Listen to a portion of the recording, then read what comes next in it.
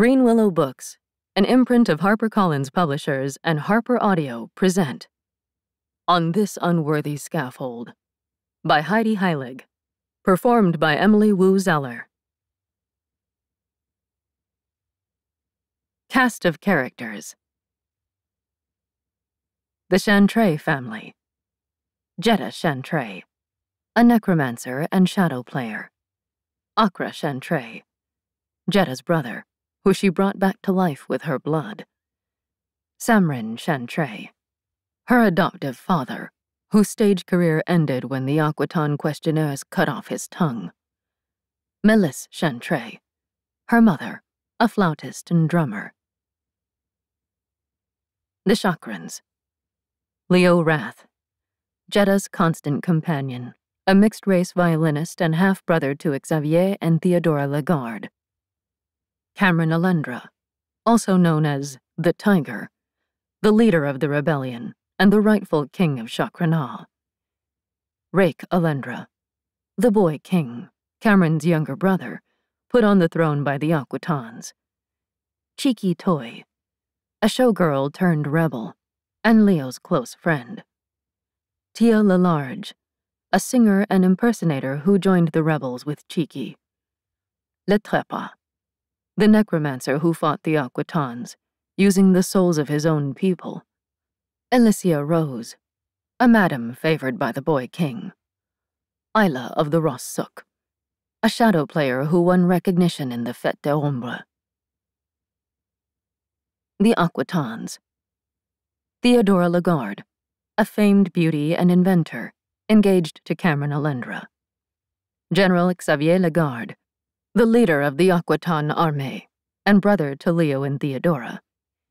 Capitaine Audrine, a retired army capitaine turned sugar baron. Madame Audrine, a rich patroness of Jetta's shadow player troupe. Antoine Le Fou, the mad emperor of Aquitaine, and Theodora's uncle. Act 1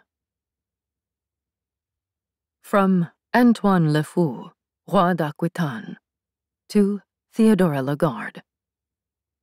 My dearest niece, it was a relief to receive your letter, and to know you are alive. Good news out of Chakrana is in short supply these days. Between the rout of our army from the northern jungle and the decree that all Aquitanes are to be deported, it seems Chakrana is returning to the darkness from which we so long fought to save her. As such, I was surprised by your plea that I throw our support behind this Cameron Alendra and acknowledge him as the rightful ruler, especially while the boy king still occupies the throne. You claim this man is a long lost prince, but there are no records of a prince by that name. Indeed, my own sources tell me that the only Cameron of note is better known as the Tiger the leader of the rebellion that has been such a thorn in our side. Theodora, you have lived in Chakrana long enough to know it is full of charlatans and opportunists. I hope you are not starting to believe them. I cannot grant your request, but I have one of my own. Come to Aquitaine. Here you will be safe among your family, and you can turn your brilliant mind to more pressing issues than the tribalistic squabbling of a country fighting over scraps. Are any of your marvelous flying machines still working? If so, I recommend you pack what you need and leave Chakrana. There is nothing left worth fighting for. Your uncle, Antoine Le Fou, Roi d'Aquitaine. Chapter 1 it's been three weeks since my last dose of elixir, and despite all the warnings about my malheur creeping back, I've never felt more hopeful. It might be the way the sun glimmers on the paddies, as though the farmers have planted diamonds instead of rice. Or perhaps the jubilant air of the crowd assembled in the field to watch the coronation. It could simply be Leo standing at my side, or rather, at my ankle. I myself sit head and shoulders above the others, astride the living bones of the dragon animated by my blood. Still, if I leaned down, I could tousle Leo's dark hair. He'd brushed it back so neatly for the occasion. In the weeks since the battle at the Temple of the Maiden, Leo and I have hardly been apart. In spite of the dead we burned and the wounds still healing, his steady presence is a comfort, and his music reminds me of good days gone by, and better yet to come. Now it's strange to see him without his violin in his hands. But of course, our stage today is very different from the sort we're both used to. We stand in a muddy paddy around the village of Malau, where thatched huts rise on bamboo stilts above the floodplain of the Rive Sur. It was Cameron's idea to resurrect the traditional rice planting ceremony. His brother's coronation had been an Aquitaine affair, but in the old days, the path to the throne started here. Though the stage is humble, it is well set. Leo and I stand behind the king, and my brother Akra, too the unkillable, the rebels call him, though not to his face. And of course, Theodora Lagarde, Leo's half sister, fat and radiant in a dress fit for a future queen. Privately, the Aquitaine beauty is still mourning her older brother, but you'd never know it by the smile on her face. It flickers only when she catches sight of Leo. After all, he is the one who shot General Xavier Lagarde. Cameron himself faces his people, ignoring the muddy water seeping up the hem of the traditional robe he's donned for the occasion. I'm used to him in stolen armée greens, but knowing Cam, there's a gun under all that silk. My ancestors stood in these fields, he's saying, planting rice as I do now. For a ruler must tend their country like a farmer tends their fields. Tireless, vigilant, nurturing. He smiles a little. Unafraid to get their hands dirty. The audience smiles along with him. Many of them are farmers themselves, like most chakrans outside the capital. The crowd is smaller than we'd hoped, but larger than we'd feared. And Malau is close to the Rive Sur, where news travels even faster than trade. The gossips will have plenty to talk about not least that the throne itself is still occupied by Cameron's younger brother, Rake. Or rather, by Rake's body. I am not the only necromancien in Chakrana. If I close my eyes, I can still see Le Trépas' smile as he falls from the back of my dragon. Down, down, down to the jungle far below. My fists clench, as though I could reach out and grab him back. It's my fault he's free. Rake may be the one who let him out of his cell, but I'm the one who let him fall into the jungle. My brother's voice in my ear makes me jump. That was your cue. I glance across the stage, but Akra still stares, stone faced, out at the audience. One of the side effects of my having raised him from the dead is that we can talk at a distance. I don't bother responding. All eyes are on me, and the only thing worse than missing a cue is for the audience to think I'm muttering to myself about it. Hiding my embarrassment, I nudge my dragon forward. The floral garlands around her neck sway as she moves. Leaning down, I pass Cameron the ceremonial wooden bowl I've been holding. In it, three green shoots of rice wave like banners in the breeze. I have spent too much time with blood on my hands. Cameron continues smoothly as he turns back to the audience. He too knows the value of appearances. But kings would do well to learn from farmers. We harvest what we sow. A cheer goes up from the crowd. It's a good line. I myself have seen Cameron sow more corpses than seeds, but the moment the Aquitaine armée began to retreat, the tiger sheathed his claws, offering clemency for anyone who joined him. Not that many have. His reputation as a vicious killer, which served him so well during the rebellion, was proving a little more difficult for a king. Still, he tucks each slip into the soft mud with the practiced hand of a man who has planted before. The audience looks on solemnly, but only I can see the souls that drift around the green shoots. The dead are watching too. For the maiden, Cameron says for the keeper, for the king. The crowd stirs again. The older ones know their lines, and the younger ones echo as they learn. For the living, for the learning, for the dead.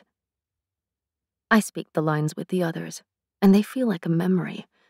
Or is it only the magic of theater? Around me, the souls swirl faster, as though they are caught up in the moment. But this time, I am ready. If I miss my second cue, Akra will never let me hear the end of it. Reaching into the little basket atop my dragon's neck, I lift out a dragon bone crown. It's even more finely carved than the one that vanished with Rake's body. My papa had spent the last three weeks working on it, and even though he lost some of his fingers to the Aquitanes, it might be his finest work yet. I hold it up, pleased to see the eyes of the audience following. In a silence so deep I can hear the distant birds singing, I rest the crown on Cameron's brow. When the audience cheers, I hold back the urge to take a bow. Tears spring to my eyes. Applause always makes me emotional, and we had been planning this show for weeks. It is not the end of the fight not with Rake and Le Trépas in control of the capital. But it feels like the start of something new. I wish my parents were here to see it, but they are still in the Valley of the Temple, safe in rebel territory. I'll have to try to capture it all in a letter. The cheering crowd, the king standing proudly in the mud. And Leo, smiling up at me. Nice prop work, he says, teasing and at last I reach down to muss his hair. Laughing, he catches my arm and pulls me into a kiss. It is several moments before I realize the crowd has gone quiet. My dragon lifts her head sharply, turning her nose downwind. A man has stepped from the tree line, mounting the berm at the edge of the paddy. A soldier d'armée, with a rifle slung over his shoulder. Could he be a deserter, come to join our cause? Then two more emerge from the jungle, a prisoner between them. The man's head hangs down, and his hands are tied in front of him. Even this far away, I can see the blood on the prisoner's shirt. Anger flares in my heart. The army was defeated at the Battle of the Temple. How dare these stragglers try to intimidate the rebel leader at his own coronation? Quickly, the villagers start to disperse, Old and young alike have seen this play out too many times. The swaggering soldiers, the chakran prisoner, the accusations real or imagined. It would be a farce if it didn't always end in blood. But this time, I'm in a position to stop the show. When I whisper to the dragon's soul, her bones uncoil beneath me. We stalk through the mud as the floral garlands sway. What are you doing? Akra's voice is sharp, and I can't tell if he's shouting after me or if it's only in my head. I'm not missing another cue, I reply. Leo calls after me too, but I pretend not to hear. Petals flutter behind us as I urge my dragon faster. I don't bother pulling the knife from my belt. The creature's teeth are twice as long as the blade. Instead, I crouch low over the bony spine, making a smaller target if the soldiers shoot. But as we draw near, their leader raises his empty hands in surrender. A truce! He calls as his men follow suit. We're not here to fight! For a moment, I wonder if I should pretend not to have heard him either. Yet while the villagers have fled, I know Leo is watching. So I rein the dragon in, glaring at the men standing before me in the mud. Then I look at the prisoner and falter. The red stains on his shirt are crusted and old. He lifts his head, and his face is a gray ruin. This man is already dead. I suck air through my teeth, and the taste of rot tickles the back of my throat. I spit into the water, and the spirits of little fish scatter, shimmering. If they are near, then the Trépas isn't. Souls flee his presence, as well they should. But this walking corpse is the first sign I've seen of the old monk since his disappearance. At least, outside of my nightmares. My heart beats faster, not with fear, but with excitement. If Le Trépas has left the capital, it might be easier to track him down and kill him. You must be Jetta Chantray, the first soldier says, jolting me out of my reverie. His eyes flick between my face and the dragon's teeth. The necromancien. How did you guess? I say wryly, but the soldier doesn't risk a smile. We hope you enjoyed this preview. To continue listening to this audiobook on Google Play Books, use the link in the video description.